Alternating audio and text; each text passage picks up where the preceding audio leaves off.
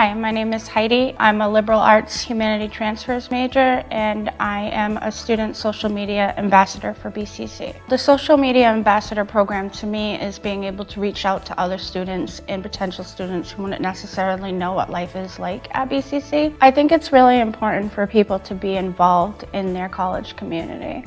I think it's really important to not just show up and go to class. I feel like it makes me a better student because, I mean, I'm part of all of these groups and clubs, and that makes me feel good about myself and makes me want to excel in my classes as well. It's so easy to be a social media ambassador because you're literally just doing the same thing that you already do. I've already taken pictures around campus and posted them to my social media feeds.